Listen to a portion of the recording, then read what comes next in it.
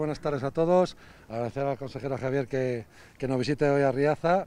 Y nada, yo creo que es mejor que lo explique él lo que vamos, lo que se ha aprobado hoy en Consejo de Gobierno por parte del BID de Riaza. Y nada, sobre todo agradecerle la visita para que conozca nuestro pueblo y vea lo bonito que es. bueno, pues muchísimas gracias alcalde, gracias a las autoridades, al delegado, a nuestra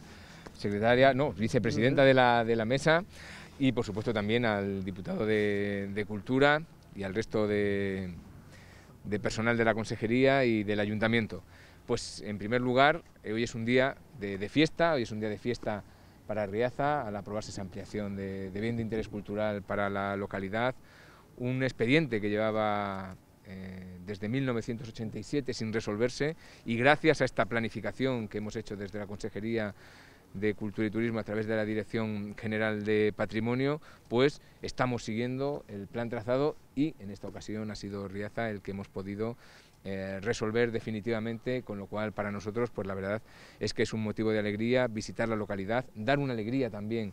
a los vecinos que hay que recordar que para que este pueblo esté hoy tan bonito, esté tan bien conservado, son los primeros que han contribuido a ello, tanto los vecinos como los distintos ayuntamientos a lo largo de todos estos años, con lo cual en primer lugar la felicitación y el apoyo y el ánimo debe ser para todos los vecinos de Riaza. En segundo lugar, la Consejería de Cultura y Turismo va a seguir apoyando todos los conjuntos históricos, los bienes de interés cultural de nuestra comunidad, teniendo en cuenta además un factor muy importante y es que la mayoría de ellos están en el medio rural y para nosotros el medio rural, para este gobierno, es una estrategia, es la estrategia prioritaria atender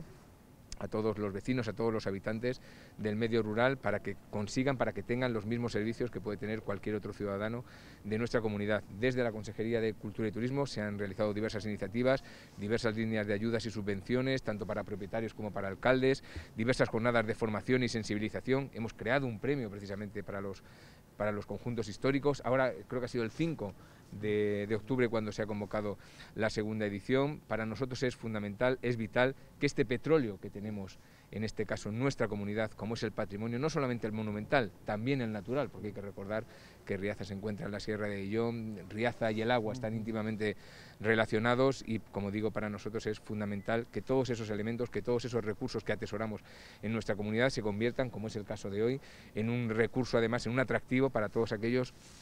visitantes, turistas y viajeros que quieran llegar a nuestra comunidad y que se conviertan en embajadores de todo aquello que tenemos. Si a eso le sumamos la rica gastronomía también de la zona, pues tenemos el cóctel perfecto para ser una de las comunidades más visitadas, para ser líderes en turismo rural. Así que felicitar, como digo, al alcalde, felicitar a los vecinos y, como siempre decimos también, todos juntos, instituciones, iniciativa privada, diálogo, consenso para entre todos pues sacar adelante todos estos proyectos que lo único que persiguen es el beneficio de los ciudadanos. Muchísimas gracias a todos y vamos a visitar la ciudad de mano del alcalde.